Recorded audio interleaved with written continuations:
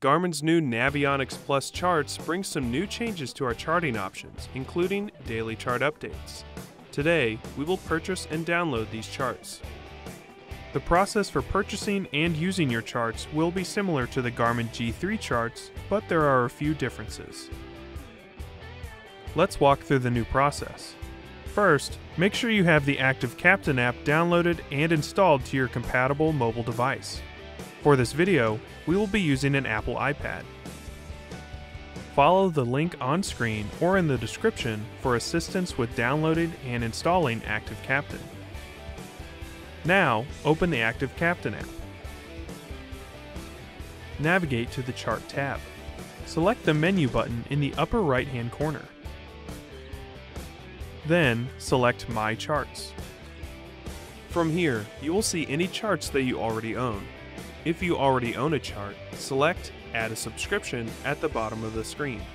If you do not already own any charts, select Shop for Charts to search for a chart.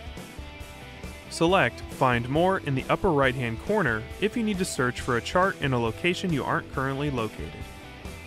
You will then be taken to a map where you can search an area to search for mapping. This will find charts in the coverage area. Press the View Available Charts button at the top of the map.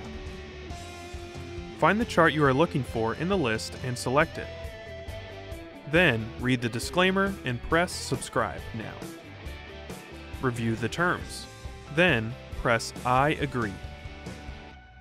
Select Subscribe. Then, select OK. Once the purchase process has been completed, you will be taken back to the My Charts page. Repeat the steps if you need to purchase additional charts. There are two ways to download your chart. First, press the three dots in the upper right hand corner on your My Charts page. Then, select Download. The other way to start downloading your charts is from the Chart tab. Press the menu button in the upper right hand corner. Then, select Download Charts.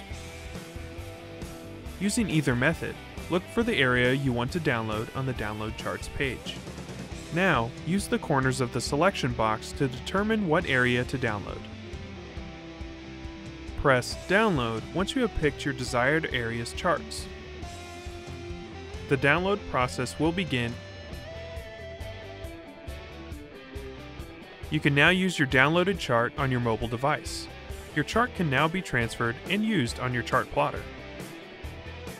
Follow the link on screen or in the description for help setting up Active Captain on your chart plotter and connecting your mobile device. Now that you have set up and connected your Active Captain app with your chart plotter, the chart will automatically transfer the next time you connect. Follow the link on screen or in the description for help with transferring the chart to your chart plotter. And that's it.